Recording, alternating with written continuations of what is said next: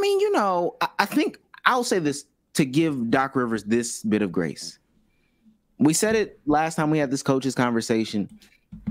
I even think coaches are sick of getting the full brunt of the force. For like sure. they just are for getting yeah. fired, for getting blamed, for you know players being able to come out and spin this revisionist history about certain things. Um, you know, I, I, although it is an excuse, I totally agree with what Austin Rivers said. Now they were up in the bubble, but I totally agree. Especially after Lou Will comes out and says, "Yeah, we didn't want to be there. Like a collective of us, we didn't want to be there. We wasn't focused. I was trying to get to the strip club as fast as possible. Y'all was locked down. Atlanta wasn't locked down. So like, I, I didn't want to be here playing no basketball. I could play. I didn't play basketball my whole life. Um, so I think that there is some credibility to that. And right, Doc Rivers shouldn't get 100% of the blame. But and I think it's it, it is hard to do and it is tiring after a long time where somebody just blames you, blames you, blames you. You know, now you want to flip it and just try to take as much off you as possible. But the middle ground exists. Doc, you hold some blame. Players, you also hold some blame. But with that state, if that statement is true, that means you have to acknowledge that you do hold some blame. Um, but Domo's right. I, I, like going back and rewriting that history, boy. I ain't gonna lie. I, I told him about SGA. Not gonna lie, I told him. I told him about SGA. Um, so it is what it is. But even even in that press conference where he was like detailing his history, I know we were we were laughing at the time, but ultimately, I think what, what he was trying to get away, I think he just worded it very poorly. Was yes, like there is blame for me, and I understand why y'all are blaming me, but damn, it's like y'all don't look at any of the good shit that I did. So I think that that's his overarching point yeah. that was missed, but eh, which I do agree. I do agree. You know, you you a lot of people, especially when you underachieve every single year, the focus is always on like when you choke. But you know, pe- people never talk about the first three games when you were dominating, you leading and coaching this team to a 60 win team perennially, which, in my opinion, is still a, a sign of a good coach. Maybe just not a championship coach. He can still be overrated, but to me, Doc is still a good coach at the end of the day. Hot take, but yeah, I, I don't know. I don't know. Yeah, I, am sorry. Damn all that. Damn all that one credit for what you do right shit. You get that every once a year when you meet up with the 08 Celtics to have your annual dinner. You get that's when you get your flowers, buddy. Other than that, your career is. I, I promise you, no one just talks about when Jerry West won. They if they talk about Jerry West, they're gonna bring up the non losses. That gets brought up. You talk about it because it's a glaring issue in your legacy. Of course, your legacy isn't only the underachievements, but when you stack the roster of players that you have coached or had the potential, co- you talked your way out of Tim Duncan, buddy. Like, I don't know what to tell you. You talked your way out. You messed up you getting Tim Duncan in Orlando. So if you that's crazy, up, that's too much, Domo. That that part is too much. Yeah, it's not. But if you if you stack up the roster and the talent of players that you had compared to a lot of these other coaches, man, stop it. We're not about to sit here and just look at the good look at the good. No, nigga, because there's a lot of bad here. It's one thing if it's disparity between the good and the bad. You got a lot of good and a lot of bad. Nigga, you got a little bit of good and a whole lot of bad. I don't know what you want to. We'll talk about a little bit. How about that? We'll we'll talk about all your little achievements. Not little achievements. I don't want to say your little achievements. Championship. We'll talk about your achievements a little bit more than we have before.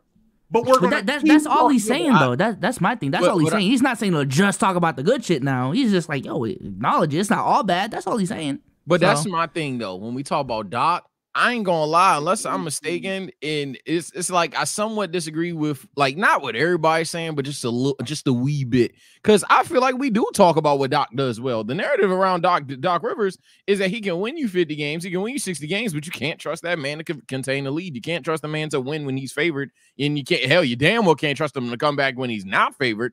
And you, you just like come postseason time, he's one of those ones.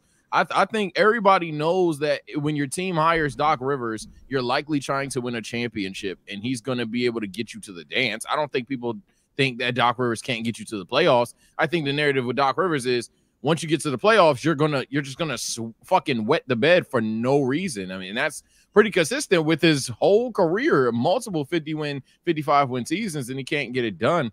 I think I think even in situations like the bubble where me and Omar disagree there, I I ain't gonna lie, man.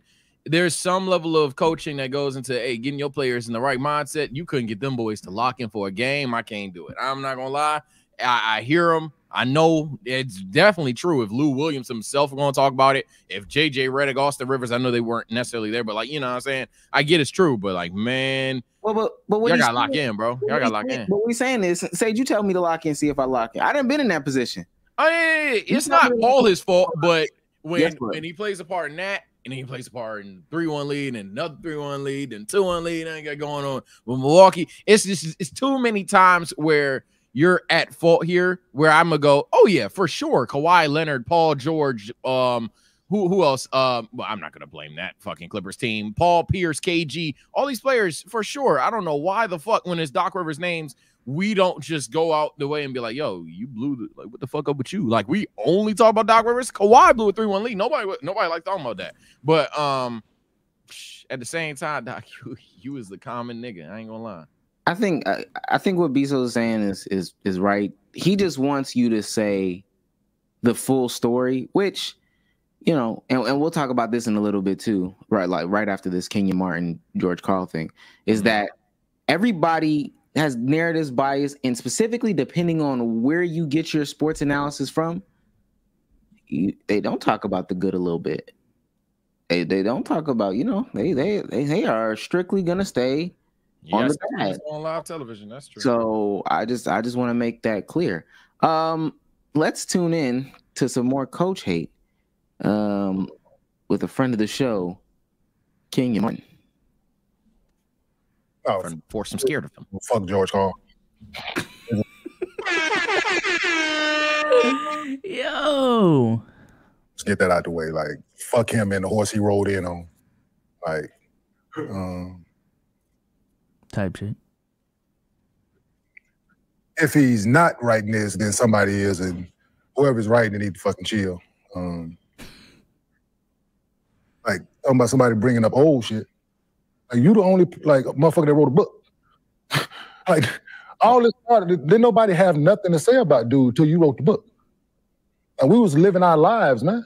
Like I, when I found out about the bullshit book, I was at the gas pump getting ready to take my daughter to Disney for her birthday. I would call that first thing in the morning about this shit. So bringing up old shit. Like, no, bruh.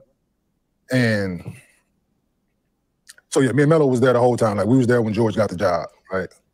We started the year we had Jeff Bzdelik, that that didn't go well.